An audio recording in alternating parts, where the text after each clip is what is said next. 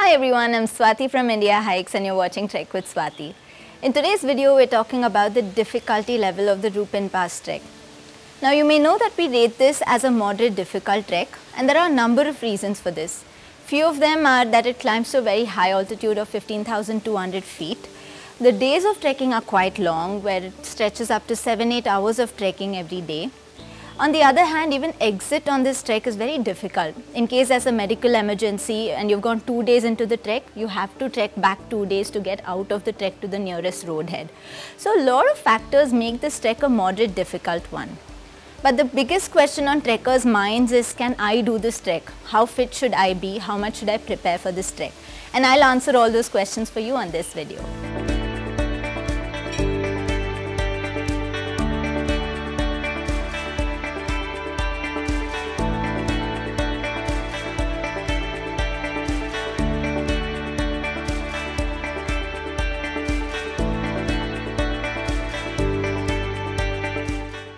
The first thing you should know is that whether you're a beginner or an experienced trekker, if you're going on the Rupin Pass trek, you will need to prepare. You'll need to start your preparation at least 45 days to 2 months in advance. And there are a bunch of reasons for this. The first thing that's going to test your endurance on this trek is the pass crossing day itself. This is the day where you start as early as 3 a.m. and you have to walk for a long time in snow through the snow fields of Rataferi and then the pass crossing itself. That's a fairly challenging climb because it's a near vertical gully you will be climbing through. There's sometimes snow, sometimes very loose boulders in the trail. So based on the season you're going in, no matter what it is, it's going to be a tough uh, walk. So you start at around 3 am and you're trekking all the way till 3 or 4 pm in the evening when you reach the next campsite. So this is the longest day that will test your endurance where you need good strength in your legs, where you need good core strength as well. If you manage this particular day, you'll be able to manage all the other sections on the trek as well. Now, a couple of other things that make this trek quite challenging. Uh, the altitude, of course, you're camping above 13,000 feet on two days of the trek and you're hovering at around that altitude. Other than that, you have long days even before the pass crossing, after the pass crossing, you have long days of 7-8 hours when you're constantly trekking. So outside of that, there aren't really too many difficult sections as such. Of course, there are some snow bridges that you have to walk on. There are also sections from the lower waterfall to upper waterfall where the section can get a bit tricky. All these will be managed because our technical teams are going to be with you if you're trekking with Indiahikes. If you're trekking on your own, of course, you will need to have some experience on these kind of trails of how to walk on snow bridges and things. But if you're prepared for it, it's absolutely fun. It's a very nice adventure. So how much do you actually need to prepare to do this trek? Well, if I was you, I would start at least 45 days to 2 months in advance. 2 months, the longer the better.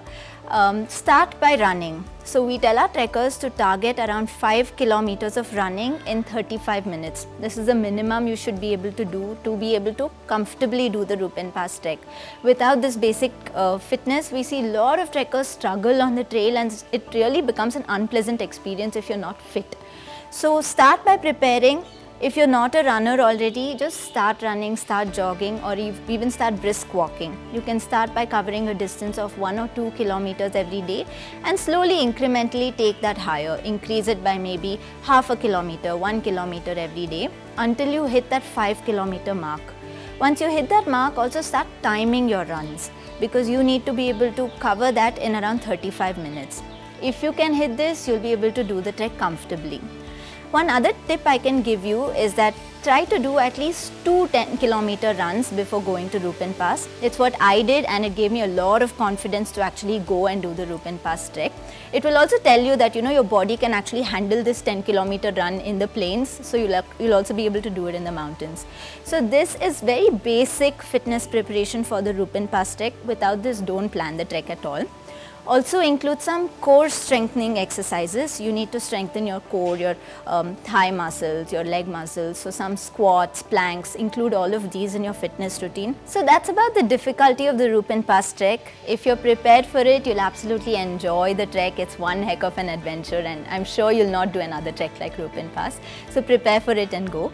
You can also drop in a comment if you have any doubts about how to prepare for this trek. I'll be happy to help you. We have a lot of other videos on Rupin Pass trek. So make sure you check out our website, check the deep dive video. That's one of my absolute favorites. Also make sure you hit subscribe and the bell icon next to it so that you don't miss out on any of our future videos. We're also on social media on Instagram, Facebook and Twitter where we have daily updates from the mountains. Make sure you don't miss out on those. We'll be back again soon with more videos. I'm Swathi from Indiahikes and you're watching Trek with Swathi.